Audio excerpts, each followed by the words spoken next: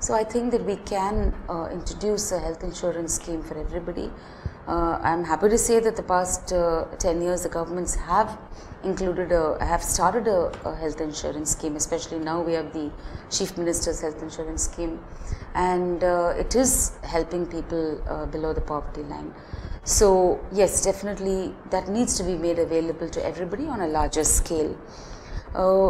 Another thing we definitely need to make life better here is uh, clean roads, um, good roads because everybody, good roads and good pavements as well because it'll be really nice to be walking on a pavement which is not messy, which is not dirty and which you can you know enjoy uh, looking at Chennai and walking along the pavements.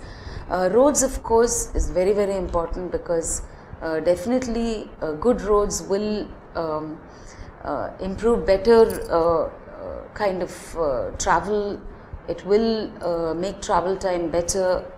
Our cars will not suffer as much, and uh, uh, definitely it is something which is lacking in Chennai. I'm hoping that that will uh, kind of improve.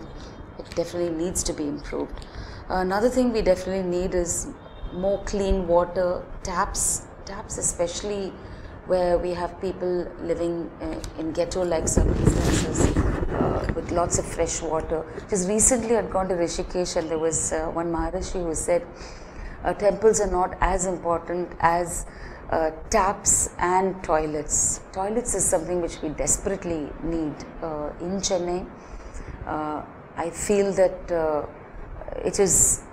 It, they, I have seen toilets, but they're not very well maintained. We need to build more proper toilets for people uh, to use, public toilets especially. And uh, I, I hope that uh, with stuff like that, it will improve the civic consciousness of people. Yes.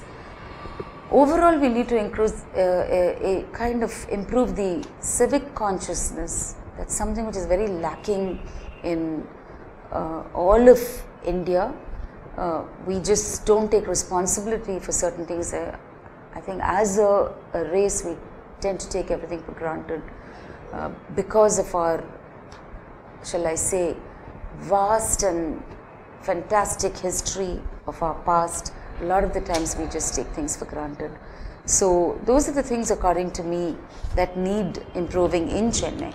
But having said that, I mean, there has already been a lot of improvement people are trying to improve things in so many different ways.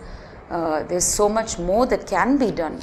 But still, I must tell you that wherever I've traveled in India and abroad, I think that um, Chennai is still the best and I love coming back. It is home for all of us.